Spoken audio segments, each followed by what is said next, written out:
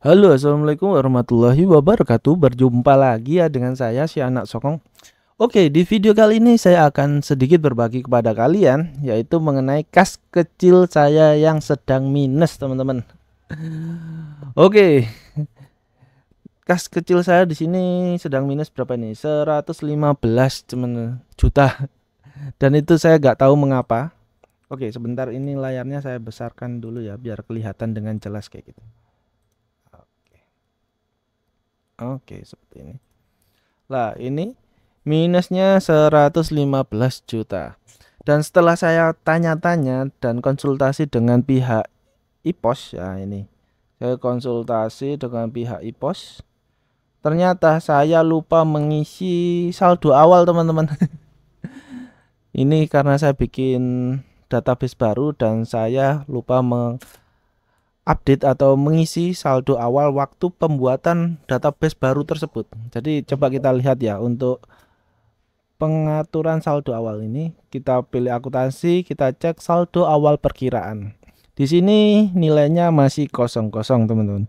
Dan saya sudah menjalankan program ini selama bentar kita lihat untuk periode transaksinya, pengaturan periode transaksi. Di sini saya membuat database baru ini sejak bulan Mei tahun 2023 dan sampai sekarang ini bulan apa ini?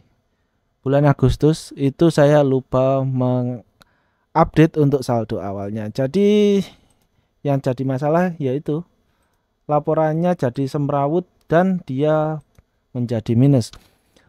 Lalu lalu setelah saya konsultasi dengan pihak IPOS cara satu-satunya kita mengabaikan untuk pembukuan di atas bulan Agustus teman-teman.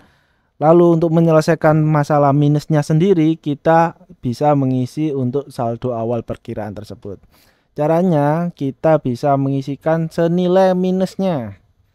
Nah ini minusnya kan saldo awal akhir 115 jadi ini kita copy aja. Kayak gini.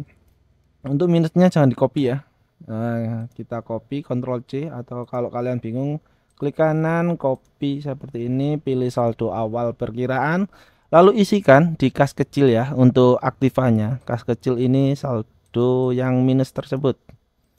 Klik kanan paste. Oke. Lalu untuk kewajiban dan modalnya kalian bisa pilih yaitu bentar untuk modal ya.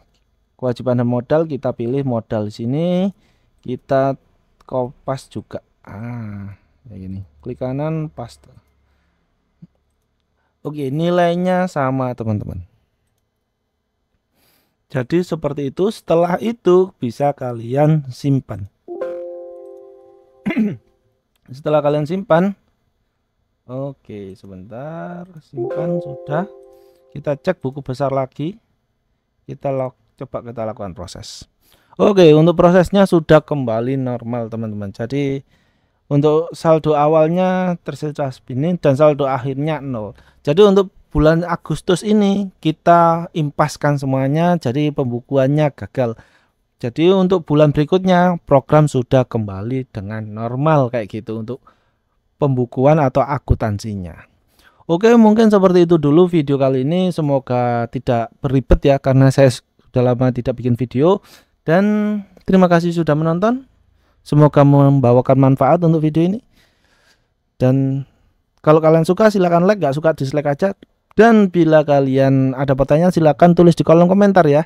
Kalau saya bisa insya Allah saya jawab dan kalau nggak bisa ya mohon maaf. Oke mungkin seperti itu dulu. Terima kasih sudah menonton hingga akhir. See you next time.